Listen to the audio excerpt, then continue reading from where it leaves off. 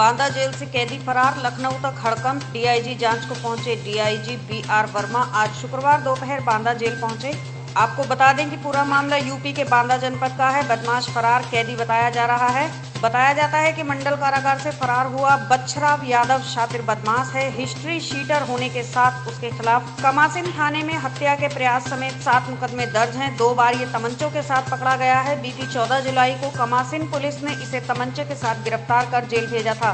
बच्छराज के खिलाफ बांदा कोतवाली में धारा 203 और 224 के तहत नामजद रिपोर्ट दर्ज की गई है। कोतवाल दिनेश सिंह ने बताया कि फरार अपराधी की तलाश में पुलिस की कई टीमें संभावित ठिकानों में दबिश दे रही हैं। जल्द ही उसे गिरफ़्तार कर लिया जाए। जानकारी मिल रही है कोई कैदी यहाँ से फरार हो गया है? हाँ दिनांक तेईस सात 2020 को सायंकाल बाहर बाग कमान स्थित है। उसमें खेतों में काम करने के लिए कुल छियालीस बंदी जो है निकाले गए थे। Jail head warder Shri Satyendra Singh की अभिरक्षा में और उनके साथ तीन होमगार्ड। तो उनमें से एक बंदी बच्छराज सनाफ रंजीत यादव। वो जो है बाहर कमान से वो भाग गया प्लान कर गया। सर इसमें क्या कोई कार्रवाई हुई है? तो इसमें देखिए बाहर कमान जब निकलती है तो जो प्रभारी होता है उसी का मेन दायित्व होता है। बाकी और जो सुरक्षा ड्यूटी में बंदी रक्षक या होमगार्ड लगे होते हैं उनका भी दायित्व होता है।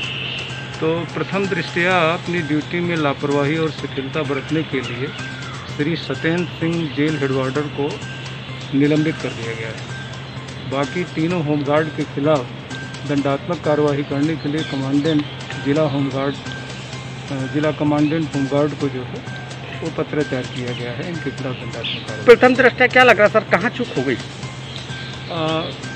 देखिए जो बाहर बाग कमान है वो तो चार दीवारी के अंदर है। जो उसमें गेट लगा हुआ है अभी हमने स्थल का निरीक्षण किया तो पाया कि गेट के दोनों तरफ़ हम्म, मतलब जो दीवार है और गेट के बीच में इतना स्पेस है कि कोई शरीर से पतला आदमी निकल सकता है। तो ऐसी संभावना व्यक्त की जा रही है कि वहीं से वो निकल गया।